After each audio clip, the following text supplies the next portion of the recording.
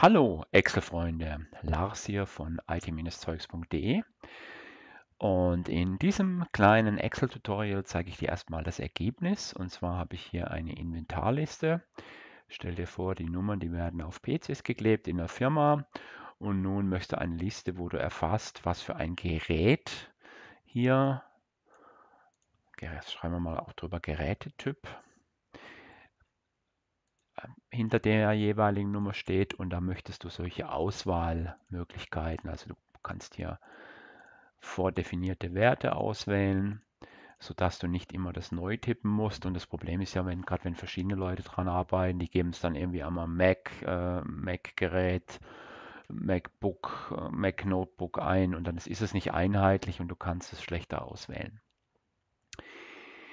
Wie stellt man jetzt so, so eine Auswahlmöglichkeit, heißt eigentlich Dropdown her? Das zeige ich dir jetzt. Ich mache dazu eine neue Datei auf. Und jetzt fangen wir hier wieder an. Inventar, Nummer. Hier schreiben wir Gerätetyp. Und du erinnerst dich vielleicht noch an ein altes Video. Ähm, ansonsten sage sag ich es nochmal kurz, um so eine Liste zu machen kannst du die ersten zwei Werte vorgeben, diese markieren und dann hier bei dem dicken Punkt das Ganze nach unten ziehen. So, und jetzt brauchen wir die Auswahlliste, also Englisch Dropdown. Dazu machen wir ein neues Blatt. Dann geben wir hier die Werte ein. MacBook, Mac, PC, Notebook, Win für Windows, das nicht zu lang wird.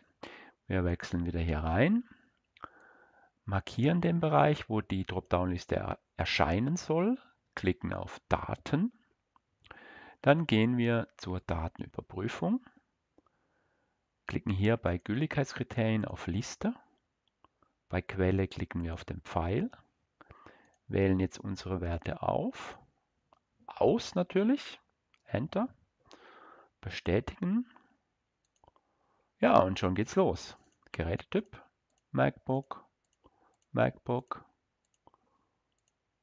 PC, Notebook, Mac. Genial, oder?